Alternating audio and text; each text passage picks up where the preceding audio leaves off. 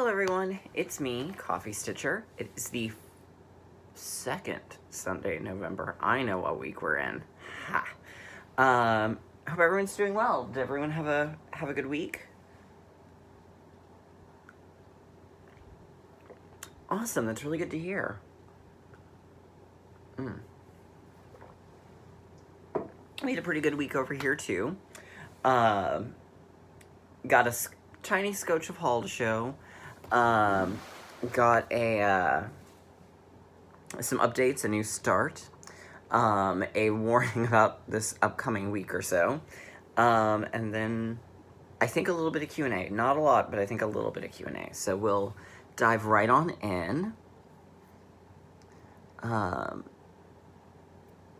Sheila Norwood asks, what is the, your recommendation for quality linen purchases? What and where is the most economical place or way to purchase quality fabrics? Um, if you're looking for bulk, probably eBay. Um, pretty much across the board, um, most of the hand dyers, their prices are pretty well in line with each other, um, usually only within a dollar or two. Uh, so they are obviously wait for a sale. Um, I can personally recommend Under the Sea Fabrics, Color and Cotton, uh, Ship's Manor. Um, those are my... Ship's Manor and Under the Sea have been my go-to, and Color and Cotton is um, one that I've placed a few orders with, and I've liked so far. Um, but I haven't, don't have as much experience with hers as I do the other two. Um, Picture This Plus is generally cheaper on 123 than it is through their website, but they don't offer the full range of colors on 123, I've noticed. Um, so it, it's a little bit of hunt and peck to find what's best. Um, but for, personally, I would say go to a hand design dyer, especially when they're doing a sale. That's a really good way to, to bulk up. Now, it will take you four to six weeks, sometimes eight weeks after a sale to be able to get your fabric. So if it's something you need desperately, I don't rec necessarily recommend that, but they do a good job. Um, so, and then you're supporting small business.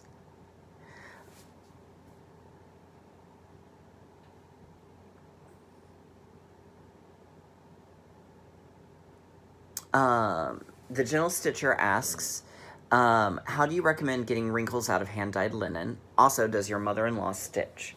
Most of the hand-dyed linens, as long as you iron them and you don't spray them with anything, you should be able to, like, put it between, like, a towel, and you should be good to go there. Um, I don't ever iron anything. Um, I let, when I take it to the framer to have them frame it, I let them stretch it, and that takes care of it usually. Um, my mother-in-law does not stitch.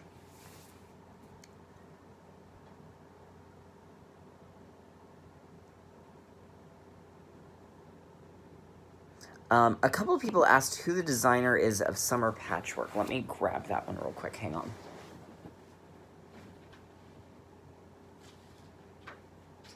I meant to have this in hand and forgot. It is Susan Bates and it was in World of Cross Stitch.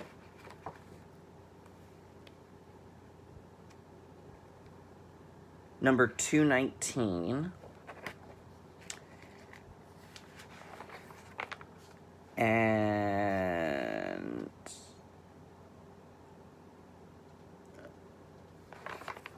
I'm not actually seeing any real clear indicator of which month that is.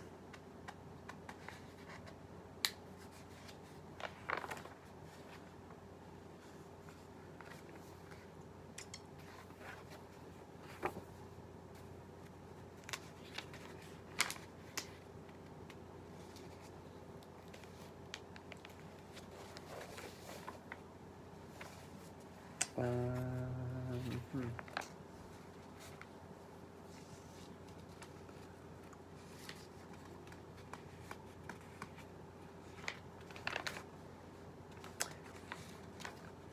I'm going to guess it's probably either 2015 or 2016. There's an advertisement for Ultimate Cross Stitch cards, which was in 2014. So it may even be that far back. But yeah, it's designed by Susan Bates.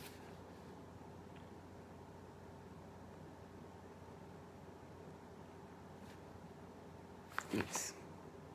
That's the full design. So, I've got, let's see, because that'll probably be one motif. It'll be one, two, three,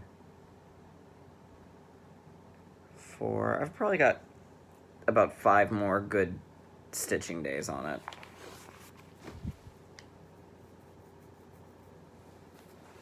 All right. Um,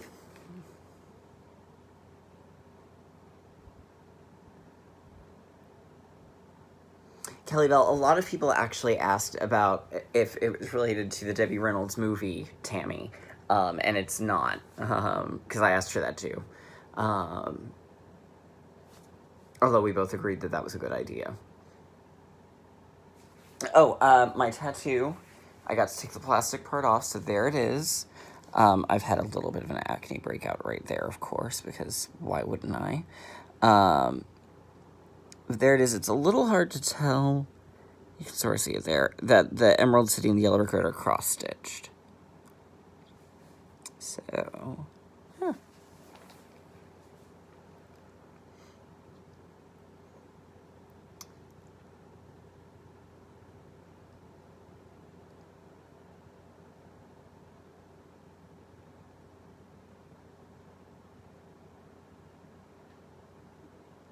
Um, Cindy Magetti, I miss getting to do videos with Kate and Katie too. Um, but I know their lives are very, very busy. And really the last, well, last year, the last two years, all of the, my middle of the week, my like federal holidays, they've all been on Mondays when Stitch Niche is closed. So next year, a lot of them are now on Tuesdays when they're open. So I'm hoping, fingers crossed, that uh, we can maybe do some more videoing then.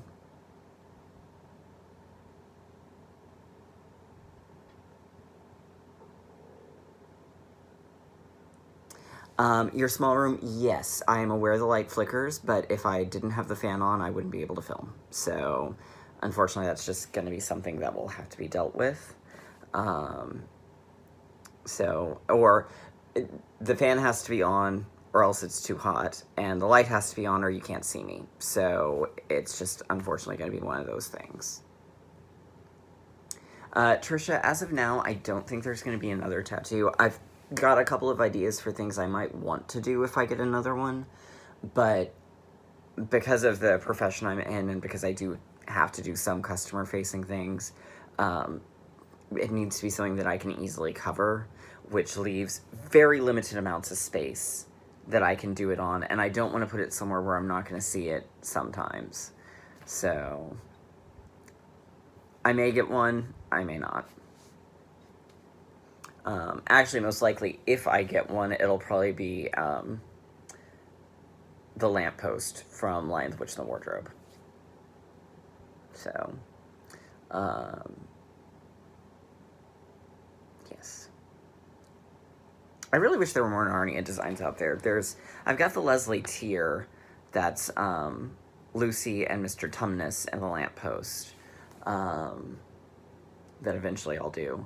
But I really wish there were, I wish, because um, I don't really want one that's like the Clouds Factory style. I don't know, but I don't really know what I would want. And I know if I design it, that I'm going to design it and then I'll never stitch it, because I'm just one of those, so... Throwing that out there to designers, especially you British ones, because that book is in the public domain over there now. Not here, but it is over there. I'd be happy to import it from England or sell it on Etsy. Think about it. All right, so um, I'll show the little bit of haul. Um, I ordered from Trisha of Three Owl, um, and they're they're falling off the little thing. Um, the Etoile threads. Um, I also ordered some a thing of John James Petite needles, but since everyone knows what needles look like, I'm not going to bother showing those. Um, so I ordered it without the 10 because I didn't need another 10. So I got the, the threads, which are here. Ooh. And one other that fell off. Um, they're really kind of cool. They're, um, only lightly sparkly. They remind me a lot of um, the Silk Lame braid from Rainbow Gallery in that sense.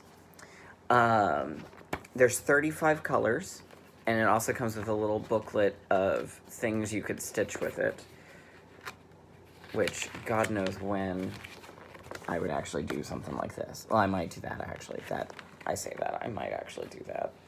Um, but um, and I've actually already used one of the blue ones in a project that I worked this week.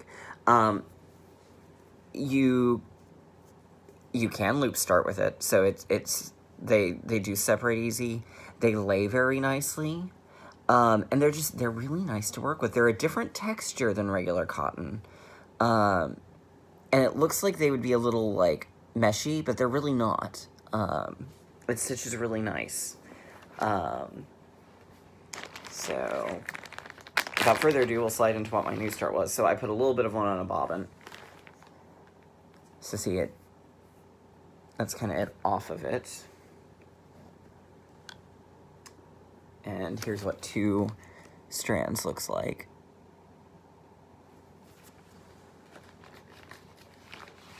Um, so I started on Color and Cotton's um, Dried Sage, the Tiger Lily dress from Brooke's Books. So I got about halfway done. I've still got the bottom half of her skirt to do, and then back stitch and beads. But most of the Kreinik and such is on order, so I didn't want to keep going and then be like, well, now what do I do? Because I can't finish it yet. But here it is. Um, and she also uses on this one some of the new 35 regular colors, but I used for the blue, I used the new Etoile. So you can see it's sort of, it's a little sparkly, it's not super sparkly. Um, I think the blue and the white will be wonderful for snow or water effects. Um,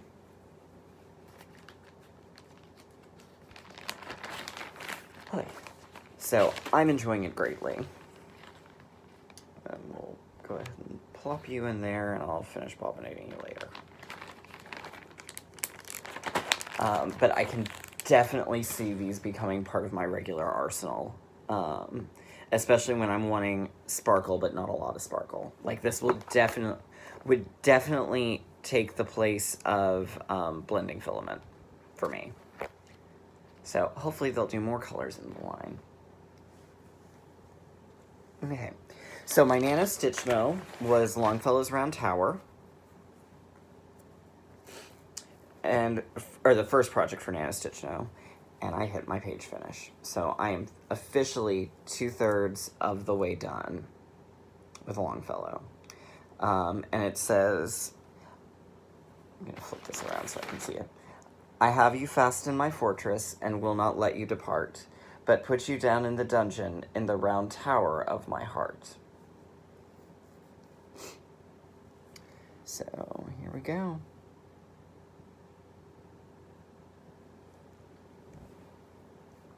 So, I'm going to be sad when this is done.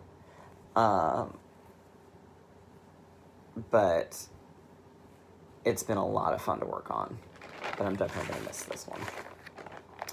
And then last week, and what's now my new Nano Stitch Stitchmo project, was uh, I worked on Giant Harry Potter, and I, oop, that's the back. And I finished the last two motifs. So there's the invisibility cloak. Um, I did this in um, Rainbow Gallery Highlights. Um, I did a full cross for what would be like the necktie. Um, and then I did the rest just in a half stitch, so it had that sort of invisibility look. Uh, and then I did the Night Bus, which I actually based um, off of Rick McKay's, I think that's his name, the one who's doing the new full illustrated versions, because Mary Grandpre didn't actually illustrate the Night Bus at all. So I, I had to find something else to take my inspiration from. So there it is. Um, and now my new Nano Stitch, like I said, it's going to be the next one that I do for Nano Stitchmo. Um, and it will be to finish out the border. So, which is really crazy to think about. And then once I finish the main border, then we'll go in and start working on the words down the side as well. So, yeah. And then we can finally go back to filling in the middle part. Um, so I will pick up on this one after I do, because I'm going to do the, the stocking in my rotation next. Um, and I think the same frame for that. But then once I'm done with that, that's my only real big one for the month. So I'm going to work on the stocking, and then that'll load up for Nano Stitchmo, we'll see what I work on next. Um, now, a little bit of warning for the next little bit. Um, the new Pokemon game comes out for the Switch on Friday, and I will be getting it. And if I know myself as well as I do, um, I will probably focus a lot on that until it's done. Um, so aside from Nano Stitchmo, there may not be a lot that happens. Um, so if not this next video, but the one after it is kind of light, that's why. So, um, anyhow, that's it for me for today. So I hope everyone has a great week. Drop me some Q&A, and I will see you all next time.